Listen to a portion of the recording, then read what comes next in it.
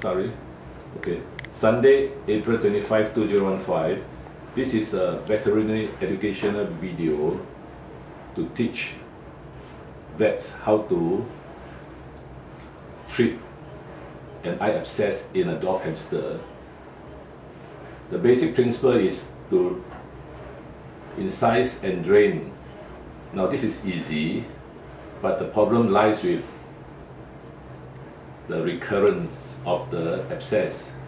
In this case, I have this hamster, this dwarf hamster, which had an eye abscess. As you can see here, eye abscess.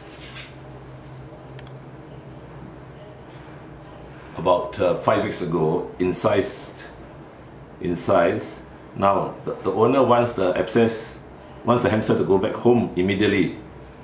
I did advise the owner to press the incision wound to drain the abscess because that is important. But the owner didn't do it and then now, five weeks later, she says that I did not tell her.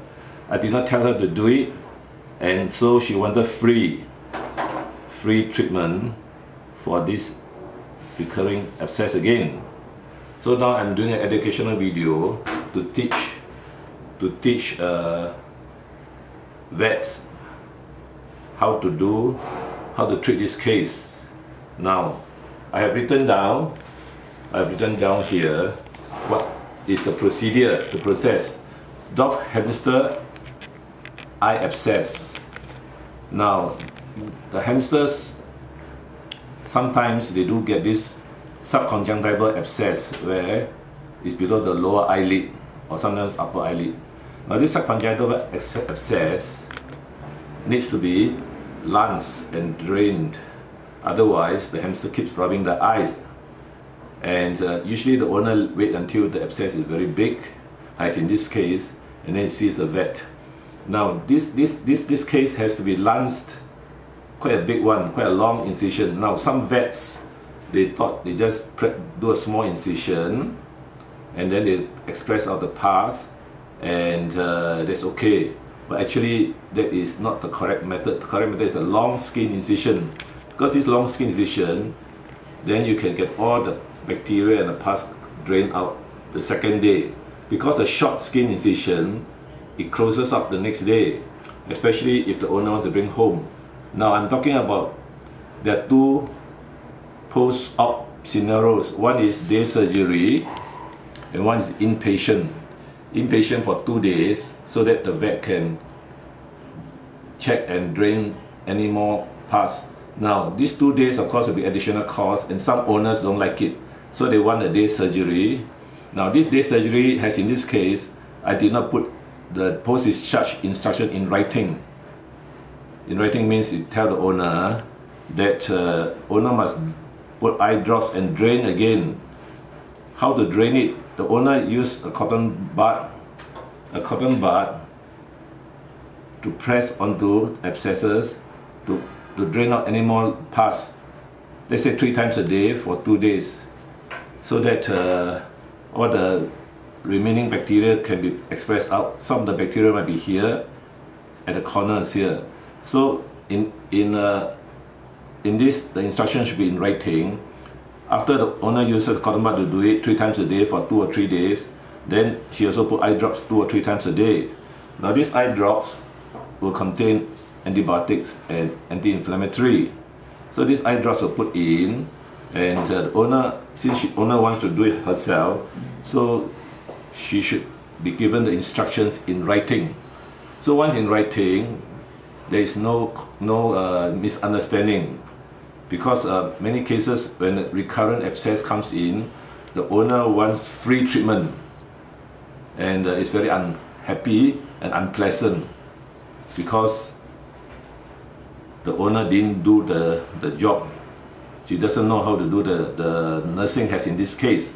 And then, then there will be misunderstanding saying that, well, you didn't tell me how to do it.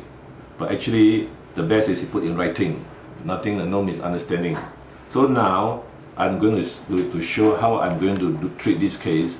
Basically, put under anesthesia, cut a big incision, not just a small one as many younger vets or, or new vets like to do, cut a big one, a long one, maybe even uh, six millimeter over the abscess and beyond. And then I was used syringe, syringe out any, any remaining pus and also use this to curette, to pick up any debris, any debris inside the, the under the skin, to pull out anything to check. So these are the two things. Uh, have you done? Of course, there's a scalpel blade for, for incision, a fast incision under anesthetic. It should take less than two seconds. And uh, so these are the things I will do. And uh, now I'm going to start ready. So we will start now. I will take the hamster here. Okay, starting. You see that uh, not yet not the time yet. No. We start here. Okay, I'll pick the hamster here. Weigh the hamster. Now this is a two-year-old female hamster. Weighs about uh, 89 grams. Okay, so this hamster I will put inside this anesthetic container. I put inside here. It's, this hamster doesn't bite, so it's okay. So I may need to to have a bit more. And the gas is on. See the timing? 10:53. Switch on the oxygen. Flow rate about four. so it'll be five percent.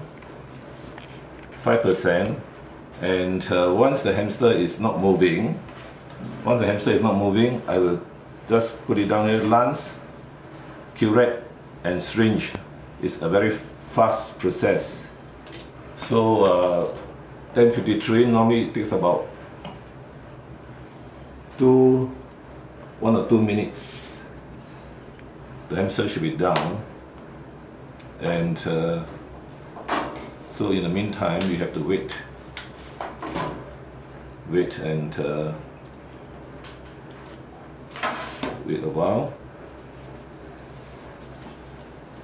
You can see once the handle stop moving, that is the time to, to pick, up, pick him up and do. Mm, this, it should be soon.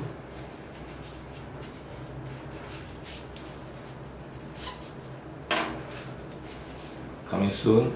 That should be one minute now.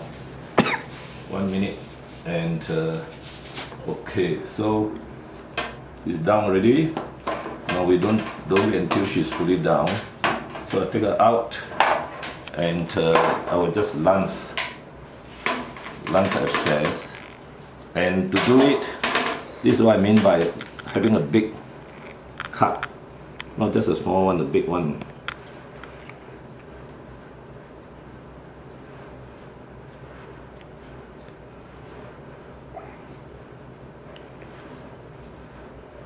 You can see it's an encapsulated abscess.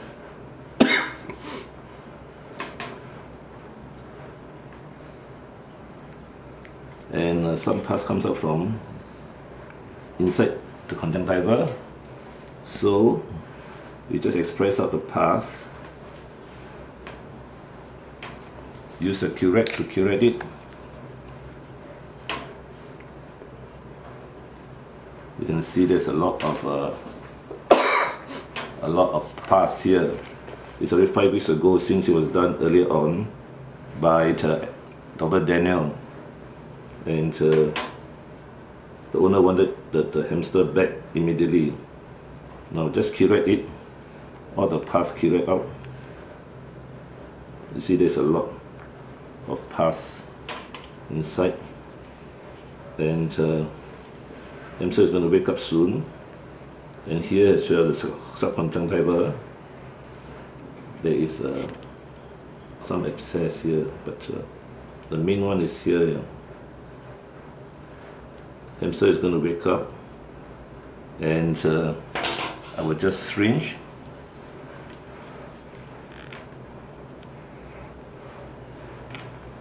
Syringe out any leftover, leftover uh, pus and uh, check again with the with, with the forceps to see anymore and uh, you can see that